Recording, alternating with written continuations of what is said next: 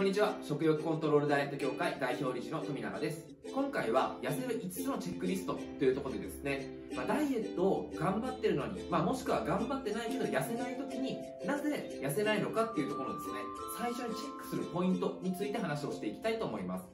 で、まあ、ダイエットをやってるやってないに限らずですねまあ、体重がうまく減らなかったりとか、まあ、太ってしまってる時ってまず考えないといけないのはなぜ自分が痩せないのか。なぜ自分が太ってるのかっていうところを考えないといけないわけですね。で、そうした時に、なぜ原因を考えても、どこから考えればいいのかわからない人っていうのがほとんどなんですね。で、そうした時に、まずじゃあこの5つをチェックしていくと、それで自分がなんで痩せないのか、そしてそれに対して今後どういうふうにやっていけばいいのかっていうのをですね、まあ一つの指標になりますんで、今回はその5つのポイントについて話をしていきたいと思います。で、まず5つの中でですね、3つはですね、食べ過ぎとかですね、そういうところに関わってくるんですね。で、まず一つ目。一つ目は、食事を満腹以上に食べ過ぎている。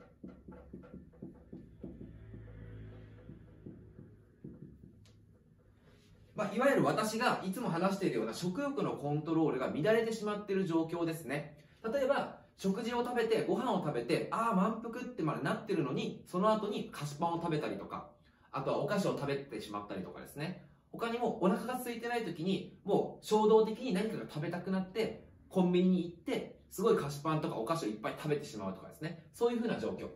満腹以上に食べてる人はですね、どういうパターンが多いかっていうと、普段は食事制限をしたり、あんまり食べたらダメだって思ってるんだけど、それでも他のたまにですねこういうふうに満腹以上に食べてしまったり週に何回か食べてしまうことによって、まあ、そのカロリーのバランスが崩れてしまったりとか、まあ、そういうふうに食事制限がストレスになってしまったりとかしてですね痩せにくくなっているパターンが多いです。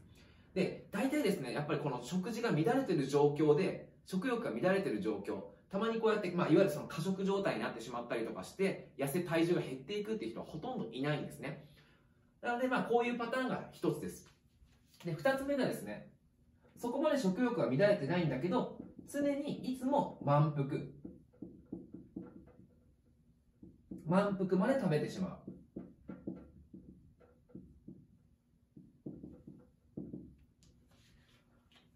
痩せてる人っていうのはですね食事の終了の合図っていうのが満腹になったからじゃないんですよ。空腹が消えたからとかなんですね。まあ、いわゆるその腹8分目で終われるかどうかっていうところなんですけど、まあ、この人間のですね、体重っていうのはですね、大体腹8分目にすることによって、そのその人の体に合った適正な体重になるように調整されるんですね。でそれが満腹まで腹10分目までいつも食べてると、あ、ちょっと重い状態になってしまって、そこで固定されてしまうようになります。なので、毎回毎回、ああ、お腹いっぱいだったっていうので終わってる場合は、まあ、それが痩せない原因となってるっていうふうに考えてください。まあ、この場合はですね、あの、普段からダイエットをそんなにしてなくて、まあ、ちょっと太ってる人っていうのはこういう状況が多いですよね。なので、ここも少し考えてもらえるといいかなと。まあ、ここの一番ほどそんなに食欲が乱れてるわけじゃないんだけど、常にお腹いっぱいになって食事が終了してしまってるっていう場合ですね。で、3つ目です。間食が多い。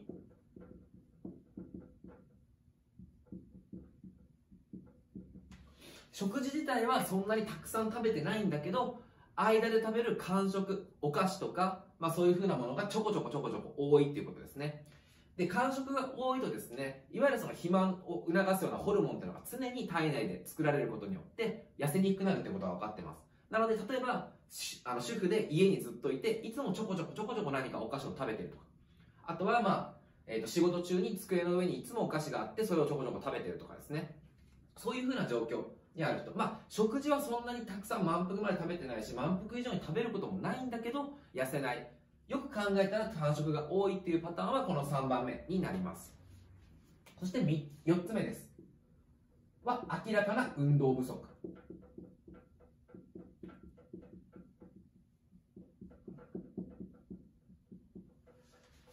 で、痩せるためにですね、あの、絶対筋トレとか有酸素運動が必要っていうわけじゃないんですけど、明らかに運動が不足してるとですね、体ってすごく痩せにくくなります。で、これなぜかっていうと、運動をしないとですね、脂肪の燃焼を促すようなその自律神経って神経があるんですけど、それが活発に働いてくれないんですね。なので例えばいつもデスクワークだし休みの日も、まあ、常に家の中にいてインドアで、まあ、ぼーっとしているとかですね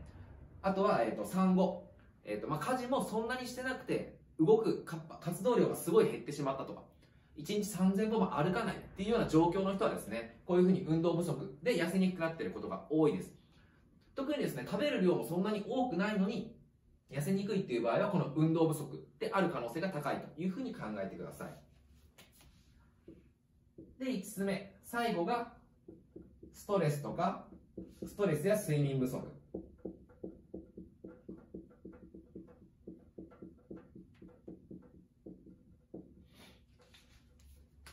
でそんなに食べてないのにしかも自分はいつもダイエットをしててカロリーもある程度抑えてるし食事のバランスも考えてる。で運動もある程度してるのに全然痩せないっていう場合はこのストレスとか睡眠不足が影響している可能性が高いです。ストレスとか睡眠不足になると体の中でですねいわゆるそのストレスに対抗するようなホルモンが出てでそれが脂肪の分解とかを抑えてしまうんですね。で食事制限とか実は運動っていうのもですね体にとってはストレスなんです。なのでストレス仕事での精神的なストレスだったりとか寝不足にさらに食事制限とか運動とか重なってくるとどんどんどんどん痩せにくくなってくるわけですね。なのでさあの多いのはですねやっぱり結構ダイエット頑張ってる人食事制限を頑張ったりとか運動頑張っててでしかもまあ仕事でもストレスがあったりとかその体重が減らないことに対してストレスを感じてたりとかあとは睡眠時間が6時間未満だとかですね。そういうふうな状況にある人はここの影響が大きいというふうに考えてください。でこの中でですね、えっとまあ普段ダイエットをそんなにしてなくて痩せないっていう人は、まあ、この2番満腹まで食べてるとか間食が多いとか運動が少ないとか、まあ、この辺が多いですよね。まあ普段ダイエットしてなくて体重が重くて今からダイエットしようとする場合はここを解消していけばいいかなとは思うんですけど、まあ、ダイエットをしてるのに痩せないっていう場合はですねまあ、ここ1食欲がも乱れて自分でコントロールできないような状況になってる、まあ、運動不足もある。と、あとはここが影響している可能性があるというふうに考えてください。まあ、この中で今自分がどこにあるのかっていうのをまずちょっとイメージしてみてください。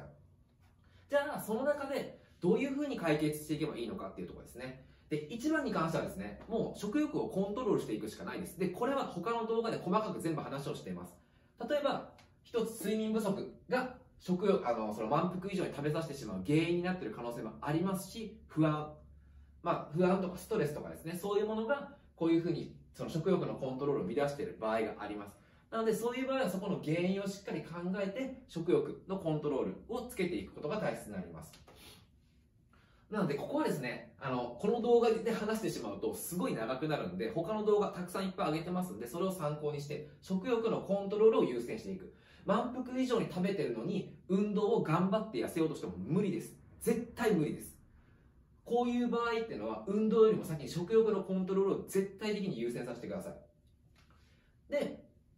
そこまで食べてないんだけどいつもお腹いっぱいまで食べてるっていう場合はですねまずは腹8分目を目指すっていうことですね。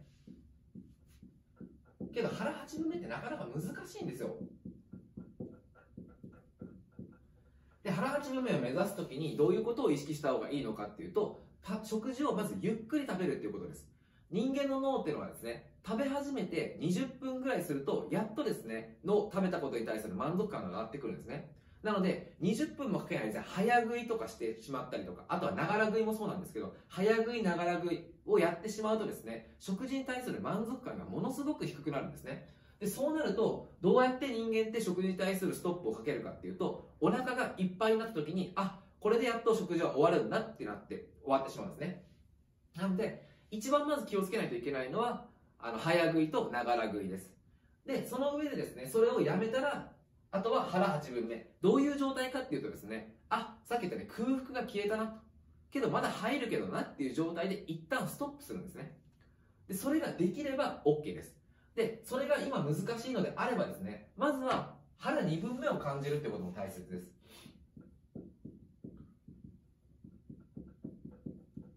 これどういうことかっていうと、腹8分目っていうのは、食べ始めてからストップする値ですよね。じゃなくて、食べ始める値を下げるんです。お腹が本当に空いてるかどうかをちゃんと確認して食べ始める。で、そうなるとですね、結構腹8分目って分かってくるんですね。で、普段から結構食べ過ぎてる人ってどういう状態になってるかっていうと、腹お腹が5分目とか4分目とかあんまり空いてないのに食べ始めるわけですでそうなるとですね満腹の基準が上がってしまって10分目とかにならないと満足できなくなるんですね。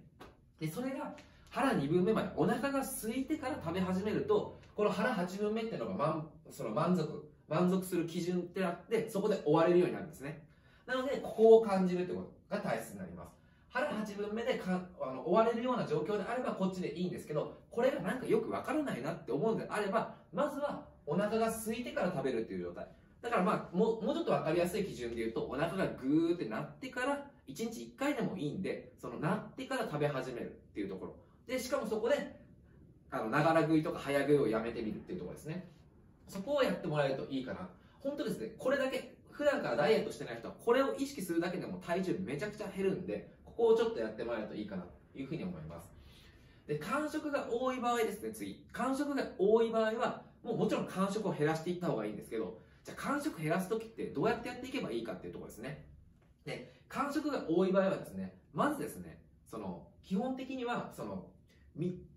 四角にですね食べ物が入ってしまう場合が多いんですね。家とかにいると机の上にもう食べ物が置いてあったりとか仕事場で食べ物が机の上に置いてあったりとかするわけじゃないですか。なのでまずはそれを物理的に見えないようにするっていうことですね。隠す。タオルを乗せるとかだけでいいんです。人間って物が食べ物が目に入るとそれだけで食欲って増してくるんですね。なので食べ物を隠す。もちろんですねその前の段階で買わない家にいるのであれば買って置いておかないっていうことが大切なんですけどけどまあその誰かが来た時のためにとかですねそういうふうに買っておいておくことだったりとかあとは職場だったら自分が買わなくても他の人が買ってくるってことはあるわけじゃないですか。でそうした時には目隠しタオルをかけておくとかそういうふうなことをやるっていうことが一つになります。であとはですねなんか食べたいなって思うことはあると思うんですよ。でそういう時はですね食べる時間をまず決めておく。ダラダラ食べが一番いけないんですよ。ダラダラ食べじゃなくて3時のおやつできちっと止めておくんだったら全然 OK なんですね。なのでそれをやるっていうこと。とあとはまずは飲み物。で終わらせてみる。なんか間食でこう食べたくなったなと思った時はまずは飲み物。コーヒーだったりとかあとはハーブティーお茶何でもいいです。飲み物で終わらせてみるっていうところ。をやってみるといいかなと思います。であとはですねやっぱり口寂しいっていうのがあるんですよ間食をする人っていうのは。なのでそういう場合はちょっとやっぱカロリーが低めのノンシュガーのガムを噛んでみるとかですね。そういうものもありかなというふうに思います。なので間食が多い場合はですね今みたいなちょっと工夫をいろいろやっていってそれで間食を減らしていく。間食が減ってくればですねかなり体重減ります本当に。ダラダラ食いをしている人はですね本当に間食だけで1日300キロカロリー400キロカロリー500キロカロリー食べてる人は多いんですね。しかもそれは無意識のうちに食べてたりするんで。なのでそれが今みたいな工夫をすることによって週に7回いっぱい食べてたのが週に5回とか4回とかに減ってくるだけでも体重変化でできますので今の工夫をやってみてください。まずは買わない。で目のかその物がある状況がどうしようもないのであれば目隠しをするっていうことですね。であとはダラダラ食べじゃなくて食べる時間を決めておくっていうこと。とあとはお腹が空いたなと思ったら飲み物でごまかす。とガムとかノンシュガーのものでちょっとごまかしてみるっていうところですね。その辺をちょっと工夫してみてください。で4つ目。明らかに運動不足だなっていう時はですね。もう運動がもちろんできるんだったら運動をやってください。時間があればですね。ウォーキングでも何でもいいです、まあ、ももちろんできれば自律神経を刺激するためにはですね。心拍数を上げたりとか、まあ、呼吸が少し乱れるような運動をちょっとやった方がいい。ヒートとかいいですよね、まあえーと、インターバルトレーニング。ちょっと強度が高い運動をして、まあ、いわゆるそのやすそのは早歩きしてゆっくり歩いてとか走ってゆっくり歩いてっていう繰り返すような運動とか、まあ、これはもう YouTube とか調べたらすぐ出てくるんでそういう運動はいいです。でそういう運動もちょっと難しいなって思うのであればですね時間もないなって思うなら例えばスマホを触ってる時間とかがあると思うんですよ。そういう時に少し立つ時間を長くするとか。とにかく座る時間を短くして筋肉に刺激を加える時間を多くするようにするといいかなというふうに思います。運動不足の場合はですねとにかくあとは習慣化できる運動を入れていくっていうことです。さっき今言ったようにスマホを立って触るとかってそんなに負担にならないじゃないですか。とかテレビを立ってみるとか。そういうふうに習慣化できる運動を入れていくっていうことが大切になります。もしくはあのほら食事の前とかにスクワットを入れるとかですね。スクワットも5回とか10回でもいいんです。それを習慣化していって運動を加えていって自律神経に刺激を入れていくっていうことですねそれをやってもらえるといいかなまあこの5番のストレスとか睡眠不足に関してはですね、ここはもうどうにかして頑張って解消するしかないですよね。ストレス発散するものを見つけたりとか、まあ、睡眠時間に関しても頑張って少しこう睡眠時間を取ったりとか。で、もし、このストレスの発散とか睡眠不足がどうしようもないっていうのであればですね、他に食事制限だったりとか運動で頑張ってるのであれば逆にこっちを抜かすってことが大切なんです。これ結構多いんですよ。あの、ダイエットしてる人って、ただでさえ仕事とかでストレスだったりとか忙しくて睡眠不足になってるのにそこに食事制限と運動っていうストレスをボンボンボンボン加えるわけですよ太りたくない痩せたいっていうところでそこのストレスを取り除いてあげるだけで体重が減ることって結構あるんですねなのでここの対策がうまく立たない場合はこっちやりすぎてるところストレスをかけてるものダイエットとしてやってることを取り除いてあげるっていうことが大切ですので、まあ、それも少し意識してもらえるといいんじゃないかなというふうに思います